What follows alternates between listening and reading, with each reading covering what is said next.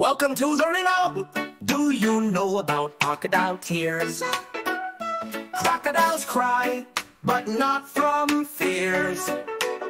When crocs have a meal, their eyes may drip.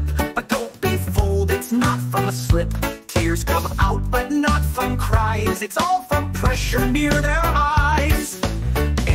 Sinuses forces those tears. It's how they eat without showing fears. Their tears aren't sad, they're just a sign of air and pressure working fine. Crocodile tears, they're not what they seem. It's part of nature's strange little scheme. They may look sad when they chew their food, but it's just how their bodies have been cued. The phrase crocodile tears was born from this. But it's not sadness or anything they miss. Crocs eat, the tears appear But they're not weeping, let's make that clear. Crocodile tears misunderstood. They don't cry out, they're feeling good. Just a reflex when they bite It happens with each hearty bite.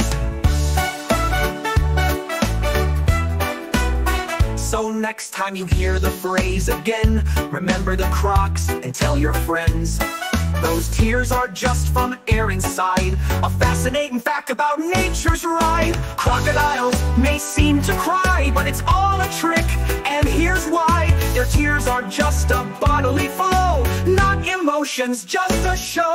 Crocodile tears, nature's curious trick revealed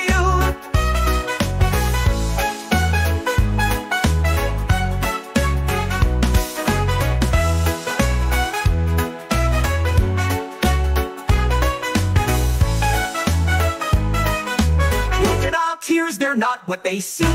It's of nature's trick revealed